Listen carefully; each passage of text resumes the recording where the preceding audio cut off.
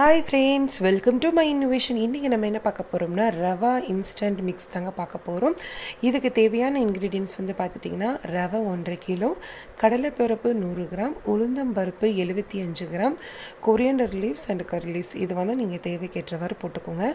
நான் வந்து இன்றைக்கி ஒன்றரை கிலோ ரவைக்கு வந்து சேர்த்துட்ருக்கேன் இதில் நீங்கள் வெஜிடபிள்ஸ் வேணாலும் நீங்கள் சேர்த்திக்கலாம். ஆனால் வெஜிடபிள்ஸ் வந்து நீங்கள் வெயிலில் ரெண்டு நாள் காய வச்சு அதுக்கப்புறம் ட்ரையாக தான் சேர்த்தணும். அப்படியே நீங்கள் போடக்கூடாது. ஏன்னா இது வந்து நம்ம ஸ்டோரேஜ் பண்ணி வைக்க போகிறோம். ஃபைவ் மந்த்து வரைக்கும் நீங்கள் ஸ்டோரேஜ் பண்ணி வச்சுக்கலாம்.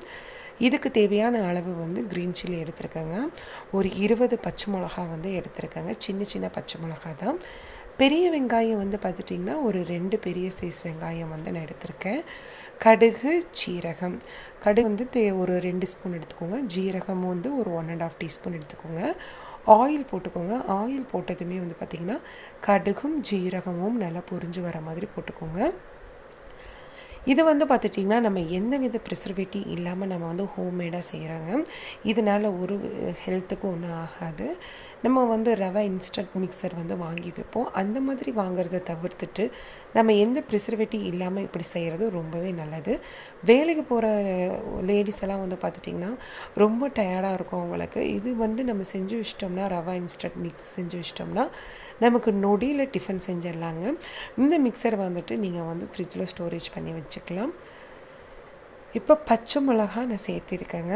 ஃபஸ்ட்டு வந்துட்டு உளுந்தம்பருப்பு கடலைப்பருப்புலாம் சேர்த்தணும். வெங்காயம் பச்சை மிளகா எல்லாமே சேர்த்திக்கலாங்க. ரொம்ப ரொம்ப ஈஸி தாங்க. ஒரு ஆஃப் அன் ஹவரில் நம்ம இது செஞ்சு வச்சிட்டோம்னா நமக்கு வந்து நாலஞ்சு மாதத்துக்கு கவலையே இல்லை.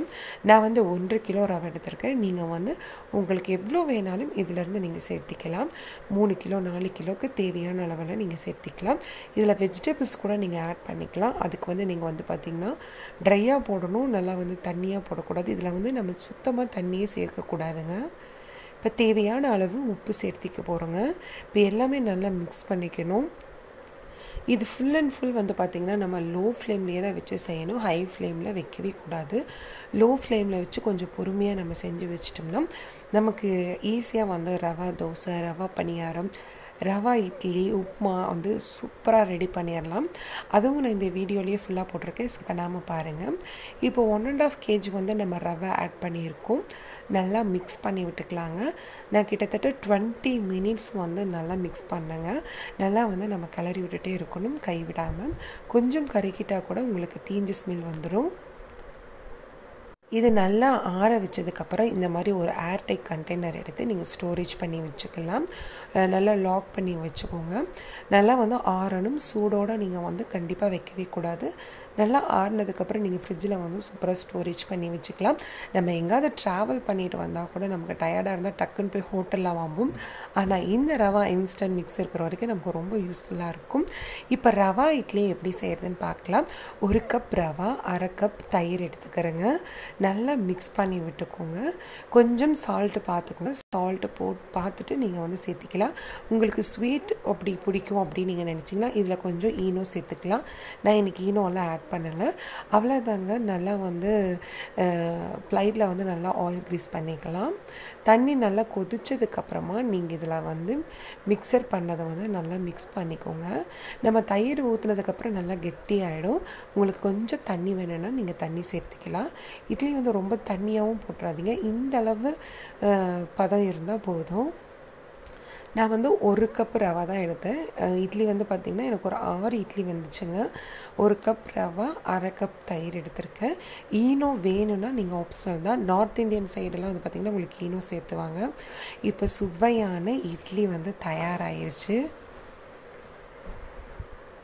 ரொம்ப சூப்பராக இருந்துச்சுங்க. நல்லா சாஃப்டாக நல்லாவே சூப்பராக இருந்துச்சு. ரொம்ப ரொம்ப ஈஸியான மெத்தடு தாங்க இது. ரொம்பவே நல்லாவே இருந்துச்சு. நம்ம வந்து குயிக்காக சட்டுன்னு ரெடி பண்ணிட்டோம். இட்லி தோசை மாவு இல்லாத டைம் கூட நம்ம இந்த மாதிரி ரவா இன்ஸ்டன்ட் இருந்ததுன்னா நம்ம ஈஸியாக ரெடி பண்ணிடலாம். நெக்ஸ்ட்டு உப்புமா செய்யலாங்க. நான் வந்து ஒரு கப்பு ரவா எடுத்திருக்கேன். அதுக்கு வந்து டூ கப் தண்ணி எடுத்துக்கலாம். ரெண்டு கப்பு தண்ணி சேர்த்துக்கோங்க. கொஞ்சமாக உப்பு சேர்த்துக்கோங்க. உப்பு பார்த்துட்டு நீங்கள் சேர்த்திக்கலாம். இப்போ கொஞ்சம் கொஞ்சமாக நம்ம போட்டு அப்படியே கிளறி விட்டுட்டே இருக்கலாங்க. இது வந்து பார்த்திங்கன்னா நம்ம ஒன்றுமே போடலை. வெறும் தண்ணி சேர்த்தோம். கொஞ்சம் உப்பு போட்டோம். அவ்வளோதான் ஒன்றுமே சேர்க்கல. உடனே ரெடி ஆயிடுச்சு ஒரு ஒன் மினிட் இருந்தாலே போதும். சூப்பரான உப்புமாவும் ரெடி ஆயிடுச்சு எவ்வளோ குயிக்காக வேலை முடியுது பாருங்கள் நமக்கு வந்து ஒர்க் டென்ஷனே இருக்காதுங்க. நம்ம எங்கேயாவது ட்ராவல் பண்ணிட்டு வந்தால் கூட ஈஸியாக வந்து நம்ம குக் பண்ணிடலாம்.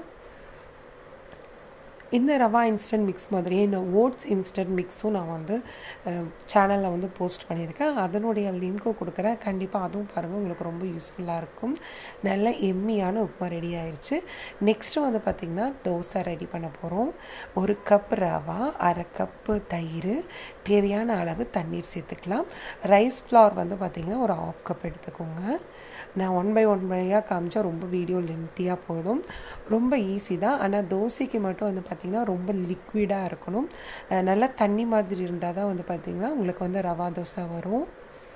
அதே மாதிரி ரவா தோசை நீங்கள் ஊற்றும் போது கூட வந்து பார்த்துட்டிங்கன்னா ரொம்ப ஹை ஃப்ளேம்லேயும் இருக்கக்கூடாது ரொம்ப லோ ஃப்ளேம்லேயும் இருக்கக்கூடாது மீடியம் ஃப்ளேமில் இருந்துச்சுன்னா நல்லாயிருக்கும் இப்போ தயிர் ஆட் பண்ணதுமே இது க்ளோஸ் பண்ணிவிட்டு கொஞ்சம் நல்லா அந்த ரவையெல்லாம் வந்து பார்த்திங்கன்னா நல்லா உறிஞ்சி இந்த மாதிரி டைட் ஆகிடும் இதுக்கப்புறம் தான் நம்ம வந்து தண்ணி சேர்த்துக்க போகிறோம் நல்லா லிக்விடாக இருக்கணும். ரொம்ப லிக்விடானால் கூட நீங்கள் ரைஸ் ஃப்ளார் வந்து சேர்த்திக்கலாம். ஒரு ஒரு ஒரு கப்பு ரவாக்கு வந்து வந்து பார்த்திங்கன்னா ஒரு கால் கப்பு ரைஸ் ஃப்ளார் வந்து நீங்கள் சேர்த்திக்கோங்க. நான் வந்து கால் கப்பு ரைஸ் ஃப்ளார் வந்து சேர்த்திருக்கேன். சூப்பரான தோசை ரவா மிக்ஸ் வந்து ரெடி ஆயிடுச்சு இப்போ தோசையும் சூப்பராக மொறு மொறுன்னு நமக்கு ரெடி பண்ணியாச்சுங்க. ரொம்ப ஈஸியான மெத்தட் தாங்க. ரொம்ப ரொம்ப ஈஸி தான்.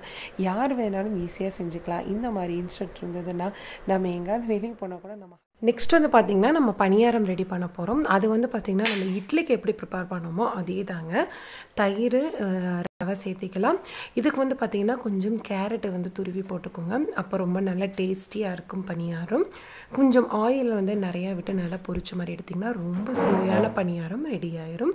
இந்த வீடியோ உங்களுக்கு பிடிச்சிருந்தால் லைக் பண்ணுங்கள் ஷேர் பண்ணுங்கள் இந்த மாதிரி வீடியோ உங்களுக்கு இன்ட்ரெஸ்ட்டாக இருந்ததுன்னா கண்டிப்பாக எனக்கு கமெண்ட்ஸில் சென்ட் பண்ணுங்கள் நான் அடிக்கடி இந்த மாதிரி வீடியோஸ் எல்லாம் நான் உங்களுக்காக போஸ்ட் பண்ணுறேன் வேறு இன்ட்ரெஸ்டிங்கான விலாகோட நான் உங்களை சந்திக்கிறேன். தேங்க்யூ ஃபார் வாட்சிங் பை பாய்